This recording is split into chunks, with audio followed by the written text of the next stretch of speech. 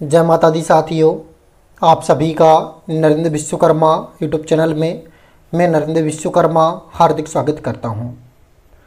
आज हम इस वीडियो में बात करेंगे अतिथि शिक्षक नियमितीकरण से संबंधित आज की ताज़ा खबर।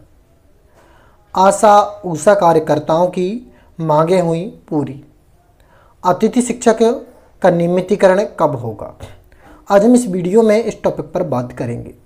तो जैसे कि आप बगल में देख रहे हैं, आशा और ऊषा कार्यकर्ताओं की जो मांगे थीं, वह माननीय मुख्यमंत्री जी ने पूर्ण कर दी हैं।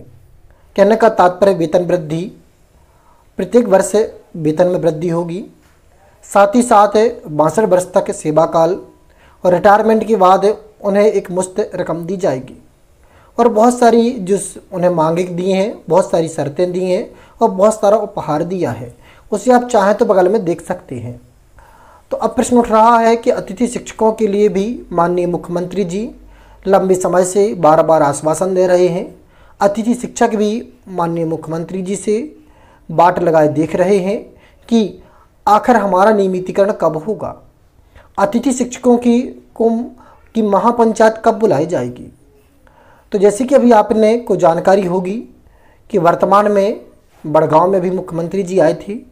वहाँ पर भी उन्होंने नियमितीकरण के लिए कहा था कि आपके भविष्य की, जो सुरक्षित करने की तैयारियाँ की जा रही हैं। और अभी कुछ समय पहले माननीय मंत्री जी भूपेंद्र जी ने अतिथि शिक्षकों के नियमितीकरण के लिए महापंचायत बुलाए जाने की बात कही थी, जो कि उन्होंने सोमवार या मंगल कहा था। तो संभवतः इस हफ़्ते अतिथि शिक्षक नियमितीकरण की जो महापंचायत है, वह बुला ली जाएगी। और उसमें अतिथि शिक्षक की जो प्रमुख संघ है। उन संघों के अध्यक्ष से बुलाकर बात की जाएगी।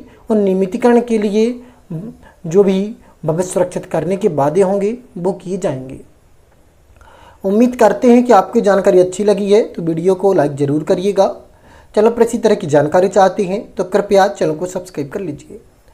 जय माता दी, राधे राधे, जय श्री राम।